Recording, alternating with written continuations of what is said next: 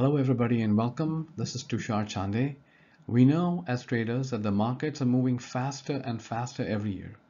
So one of the problems with using a moving average, whether a simple moving average or an exponential moving average, is we have to specify a length. And what length should you pick? My original solution was to make adaptive moving averages, which I invented almost 30 years ago, but they only adapt the effective length.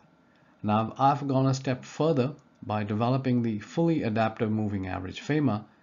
FAMA responds faster to price changes than the equivalent EMA by using volatility to automatically adjust both the effective length and the offset. So let's dive in and see how it works. This is daily data for Boeing and we have three lines on the chart. The black line is the five-day EMA with the five-day offset. The red line is the 30-day EMA with a 9-day offset and the peach dotted line is FAMA where the length varies between 5 and 30 days and the offset varies between 5 and 9 days to compare itself to the two lines on the chart. Of course, you can set any values you want here. Notice that when Boeing was rising rapidly, FAMA behaved like a 5-day EMA with a 5-day offset Whereas in this area of consolidation, FAMA behaved like a 30-day moving average with a 9-day offset. So this chart shows adaptation along two lines or two axes, the length from 5 days to 30 days and the offset from 5 days to 9 days. This slide illustrates that the FAMA bands have the opposite behavior to the traditional EMA bands. When prices are moving strongly, the FAMA bands are narrower, but the EMA bands are wider. When prices are moving sideways in a narrow range, the EMA bands are narrower, but the FAMA bands are wider. So you can take advantage of this behavior.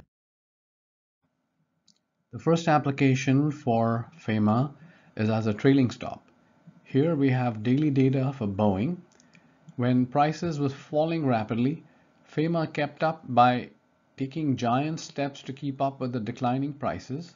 Similarly, when prices were rising quickly, FAMA kept up beautifully and took larger steps or smaller steps dictated by price action. A second application of FAMA is filtering with ATR bands. So here we have plotted FAMA with a default 1x ATR bands and you can see two things. First, when prices are outside the bands, we can use trend following strategies.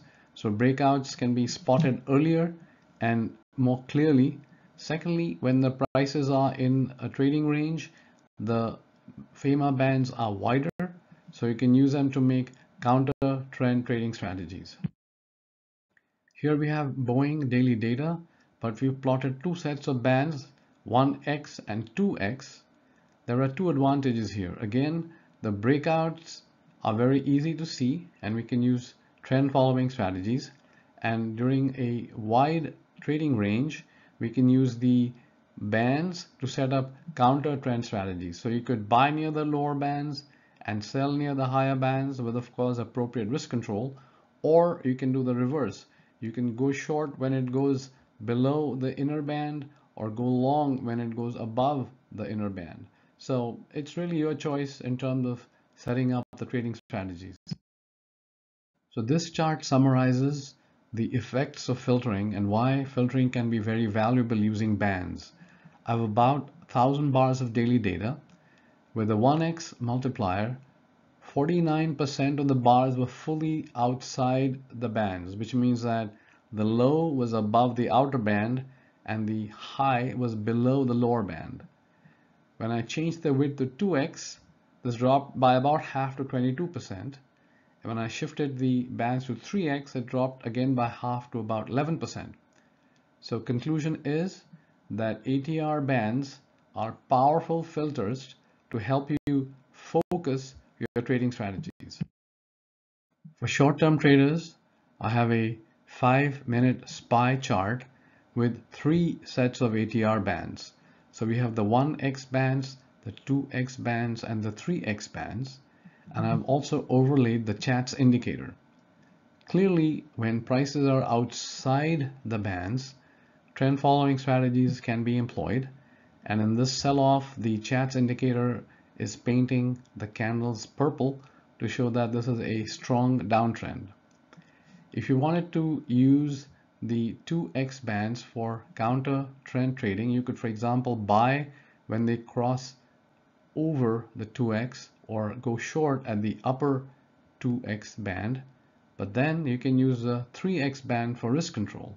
So if you went short here and the market kept going higher, you could use the 3x band as a risk control mechanism to exit your trade. Conversely, as we are here, if you have the market falling below the lower band and then reversing, then you could either use the 3x band or the 2x band for stop and reverse. So you could use 3x to stop out and the 2x band to reverse and so forth. So bands allow you to customize the trading strategy to your trading preferences. For completeness, I, I analyzed about 800 five minute bars on SPY data to understand the effect of filtering. At 1x, fully 41% of the bars were outside the bands, that is the low was higher than the upper band or the high was below the lower band. With 2x, it dropped by about a half to 22% and with 3x bands again dropped by about a half to 9%. So the rough numbers are similar to the daily data as well. So filtering continues to be effective using the bands even at the very short five minute chart level. Here we summarize how FAMA responds to volatility. When volatility increases, the EMA parameters are fixed, but FAMA downshifts to a shorter length and a shorter offset. When volatility decreases, the EMA parameters are fixed, but FAMA upshifts to a longer length and a longer offset. FAMA bands move counter to EMA bands. When volatility increases, EMA bands are wider, but FAMA bands are narrower. When volatility decreases, EMA bands are narrower, but FAMA bands are wider. So you can take advantage of that. So this chart summarizes the filtering effect of bands. The actual data are for SPY and this is a generalization based on my analysis of a number of charts. With a 1x multiplier, about 50% plus or minus 10% of the bars are fully outside the band, i.e. the low is above the upper band or the high is below the lower band. With a 2x filter, this drops to about 30% plus or minus 5%. And with the 3x filter, it drops to about 10% plus or minus 3%. So filtering is a powerful force that you can use to focus your trading strategies.